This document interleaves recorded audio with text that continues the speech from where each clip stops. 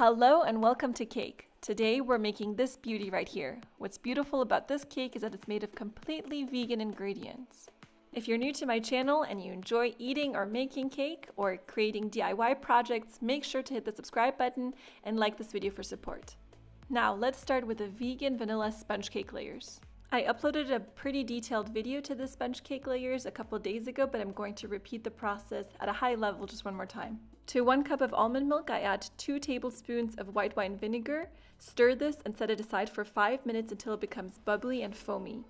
After this step, I add a third of a cup of vegetable oil and some vanilla extract.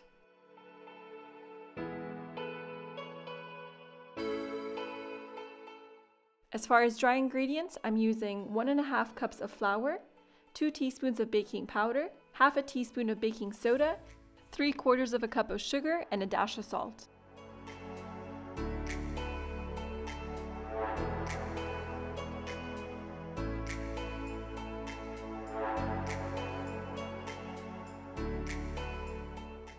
I simply combine all the dry ingredients and then add the wet ingredients to this.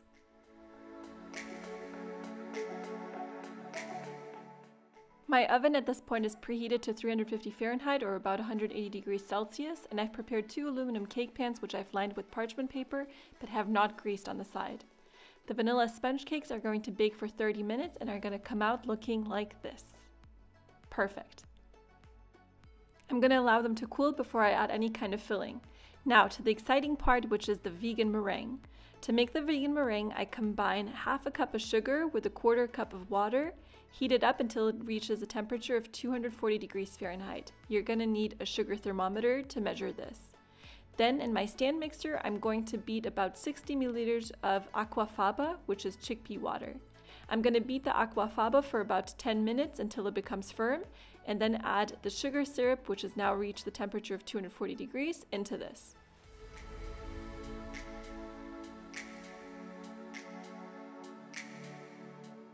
I'm going to let the stand mixer do its job for a couple more minutes until it cools down and in the meantime I'm preparing the strawberries for the middle and top layers.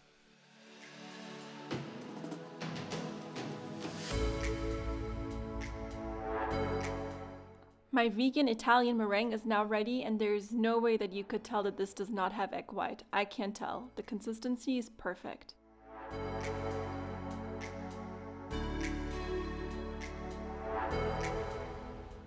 Now to give the Italian meringue a little bit more flavor, I've added about one and a half teaspoons of vanilla extract and about one teaspoon of natural vanilla flavor. This is perfect because it's going to complement the strawberry filling perfectly.